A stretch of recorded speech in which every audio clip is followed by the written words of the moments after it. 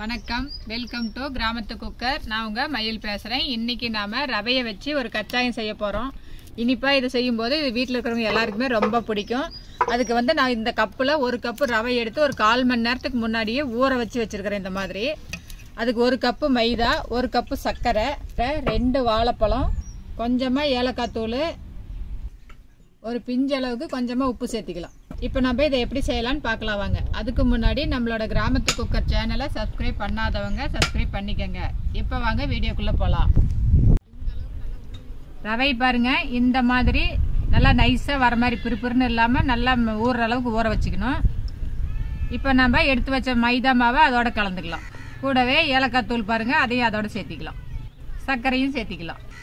கூடவே ஒரு பிஞ்சளவுக்கு உப்பு. தூள் உப்பு கொஞ்சமாக போட்டோம்னா தான் நமக்கு வந்து அந்த சர்க்கரையை வந்து நல்லா தூக்கி கொடுக்கும். இல்லைன்னா சர்க்கரை சப்புன்னு இருக்கிற மாதிரி இருக்கும். உப்பு கொஞ்சமாக போடும்போது இனிப்பு நல்லா தூக்கி கொடுக்கும். அதுக்காக நம்ம கொஞ்சோண்டு உப்பு சேர்த்திக்கலாம். இப்போ பாருங்க நம்ம எடுத்து வச்ச இந்த வாழைப்பழத்தை உரித்து இதோட சேர்த்து பிசைஞ்சிக்கலாம். ரெண்டு வாழைப்பழத்தையும் உரிச்சு போட்டுக்கலாம். போட்டாச்சு இப்போ எல்லாத்தையும் சேர்த்து மாவோட நல்லா பிசைஞ்சிக்கலாம். இந்த பழத்தோட இது தெரியாத அளவுக்கு மாவு மாவு மாதிரியே இருக்கணும். அந்த அளவுக்கு நம்ம மாவோட சேர்த்து பிசைஞ்சிக்கணும். இப்போ கம்மியாக தண்ணி சேர்த்திக்கலாம். ஏன்னா ஏற்கனவே நம்ம ரவையில் வந்து தண்ணி சேர்த்திருக்கிறோம். அதனால் கொஞ்சமாக தண்ணி சேர்த்தி நீங்கள் பிசைஞ்சிக்கோங்க. சர்க்கரை சேர்த்தும் போது தண்ணி விடும். ரவையிலேயே தண்ணி இருக்கிறதுனால நீங்கள் அதிகமாக தண்ணி விட்டுட்டிங்கன்னா தண்ணியாட்டாயிரும் மைதா மாவுங்கிறதுனால கொஞ்சம் டைட்டாக தெரியும். அதனால் நம்ம நல்லா பிசைஞ்சு எடுத்துக்கலாம். எல்லாத்தையும் சேர்த்து இந்த மாதிரி ஒன்றா பிசைஞ்சிக்கிட்டே இருந்தோம்னா தான் கச்சாயம் நல்லா உப்பி நல்லா வரும். அதனால் இந்த மாதிரி நம்ம பிசைஞ்சு எடுத்துக்கலாம். அள்ளி ஊற்றினா இந்த அளவுக்கு வரணும். இந்த அளவுக்கு மாவை நம்ம பிசைஞ்சிக்கணும். இதுதான் பாதம். இப்போ நம்ம எப்படி செய்யலாம்னு பார்க்கலாம். பாருங்க மாவு எந்த அளவுக்கு கரைச்சி வச்சிருக்கிறேன்னு.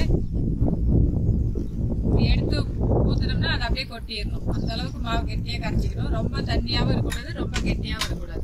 இந்த மாதிரி ஒரு புளிக்கரண்டி எடுத்துக்கிட்டு நம்மளுக்கு எந்த சைஸ் வேணுமோ கொஞ்சமாக வேணும்னா கொஞ்சமாக எடுத்துக்கலாம். நிறைய வேணும்னா பெருசாக வேணும்னா கொஞ்சம் நிறைய எடுத்துக்கலாம். இப்போ பாருங்க சட்டி அடுப்பில் வச்சு எண்ணெய் ஊற்றி எண்ணெய் நல்லா காஞ்சிருச்சு. இப்போ நம்ம இந்த மாவை ஊற்றிக்கலாம்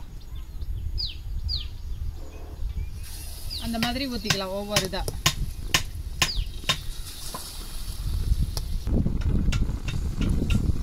போதும் அது அப்படியே வெந்து உப்பி மேலே வரும். அதுக்கப்புறம் நம்ம திருப்பி விட்டா போதும். இப்போ நம்ம கரண்டி விட்டு கிளறினோம்னா மாவு வந்து உடஞ்சி போயிடும்.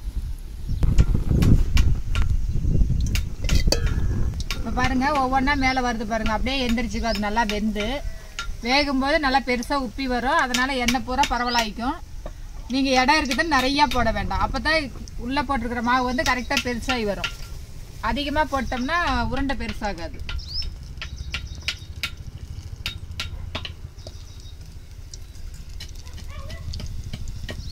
இப்போ திருப்பி போட்டுக்கலாம் நம்ம. பாருங்க ஒவ்வொன்றா அப்படியே நம்ம திருப்பி போட்டுக்கலாம். பாருங்கள் இப்பயே நல்லா பப்ளியாக இருக்குது பாருங்கள் குண்டு குண்டா. இந்த மாதிரி நல்லா உப்பி வரும். அதனால் நம்ம இந்த அளவுக்கு கணக்காகவே போட்டுக்கலாம். அதிகமாக போட்டோம்னா நல்லா உப்பாது. இதே மாதிரி ரெண்டு பக்கம் நம்ம திருப்பி விடலாம் நல்லா வேகட்டும். நல்லா பொன்னிறமாக மாறி வரும். அது வரைக்கும் நல்லா வேகட்டும். எண்ணெயில் வர இந்த முட்லியெல்லாம் நல்லா அடங்கி வரணும். அப்போ தான் நல்லா மாவு வேகும். இல்லைன்னா உள்ளார மாவு அப்படியே இருக்கும். இப்போ திருப்பி விட்டாச்சு இந்த பக்கம் கொஞ்சம் நேரம் நல்லா வேகட்டும். இப்போ பாருங்கள் ரெண்டு பக்கமும் நல்லா செவந்து வந்துருச்சு. இந்த மாதிரி செவந்து வந்ததுக்கப்புறம் நம்ம எடுத்துக்கலாம். ரெண்டு பக்கமும் இந்த மாதிரி செவக்க விட்டு எடுங்க. இப்போ பாருங்க நல்லா மொட்லி மொட்லியே பந்து மாதிரி வந்திருக்குது. இப்போ இதை நம்ம எடுத்துக்கலாம்.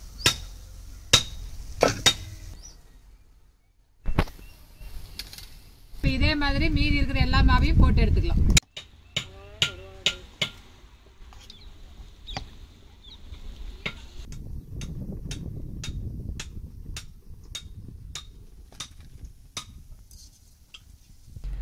இப்போ பாருங்க எல்லா கச்சாயத்தையும் இந்த மாதிரி சுட்டு எடுத்தாச்சு. இது பாருங்க எடுத்து புட்டிங்கனாலும் இந்த மாதிரி சாப்பிட்டா வரும். சாப்பிட்றதுக்கு ரொம்ப டேஸ்ட்டாக இருக்கும். நீங்களும் இதை வீட்டில் செஞ்சு பாருங்கள் செஞ்சு பார்த்துட்டு எப்படி இருக்குதுன்னு உங்கள் கமெண்ட்ஸை சொல்லுங்கள் நன்றி வணக்கம்.